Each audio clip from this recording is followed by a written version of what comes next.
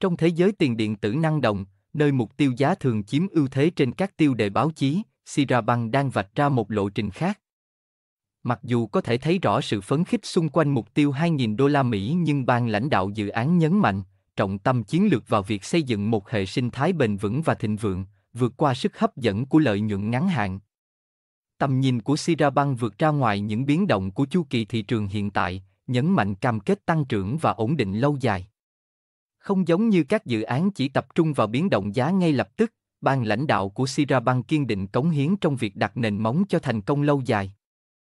Mục tiêu 2.000 đô la Mỹ tuy đáng chú ý nhưng được Sirabank xem là một cột mốc quan trọng trong một hành trình lớn hơn là một mục tiêu cuối cùng. Chiến lược của dự án xoay quanh sự đổi mới liên tục, mở rộng phạm vi cung cấp và thu hút người dùng mới để củng cố nền tảng của một hệ sinh thái bền vững và linh hoạt.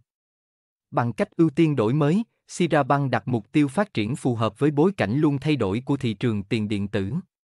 Cách tiếp cận có tư duy tiến bộ này giúp dự án không chỉ thích ứng với sự biến động ngắn hạn mà còn phát triển mạnh trước các chu kỳ thị trường.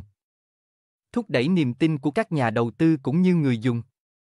Mở rộng dịch vụ của họ là một thành phần quan trọng khác trong chiến lược dài hạn của Sirabank. Dự án đang nỗ lực làm việc để cung cấp một bộ dịch vụ tài chính toàn diện trong hệ sinh thái phi tập trung của mình. Cách tiếp cận toàn diện này được thiết kế để không chỉ đáp ứng nhu cầu thị trường hiện tại, mà còn dự đoán và giải quyết các nhu cầu ngày càng tăng của người dùng trong tương lai. Thu hút người dùng mới được coi là yếu tố quan trọng trong việc xây dựng một cộng đồng kiên cường xung quanh Sirabank.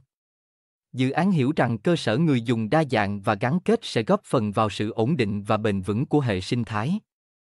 Những nỗ lực nhằm mở rộng cơ sở người dùng vượt ra ngoài các sáng kiến tiếp thị, để tạo ra một môi trường toàn diện và thân thiện với người dùng, thúc đẩy các mối quan hệ lâu dài. Khi Sirabank tiến lên phía trước, việc nhấn mạnh vào tăng trưởng bền vững trong bối cảnh biến động ngắn hạn sẽ coi đây là tín hiệu về khả năng phục hồi trong không gian tiền điện tử. Cam kết của dự án trong việc xây dựng một hệ sinh thái thịnh vượng, có thể chịu được chu kỳ thị trường phản ánh tư duy chiến lược phù hợp với các nhà đầu tư dài hạn đang tìm kiếm sự ổn định trong một thị trường vốn năng động. Mặc dù mục tiêu 2.000 đô la Mỹ có thể là một cột mốc quan trọng nhưng hành trình của Sirabank vẫn chưa hoàn thành. Sự tập trung kiên định của dự án vào đổi mới, mở rộng và xây dựng cộng đồng khẳng định lại cam kết của nó đối với tầm nhìn vượt xa những biến động của bối cảnh tiền điện tử hiện tại. Kênh chỉ tổng hợp tin tức về Sira coi cho mọi người có thêm thông tin tham khảo về dự án này, không khuyến khích người xem mua bán hay đầu tư đồng coi này tránh mất tiền oan. Chúc mọi người ngày mới tốt lành.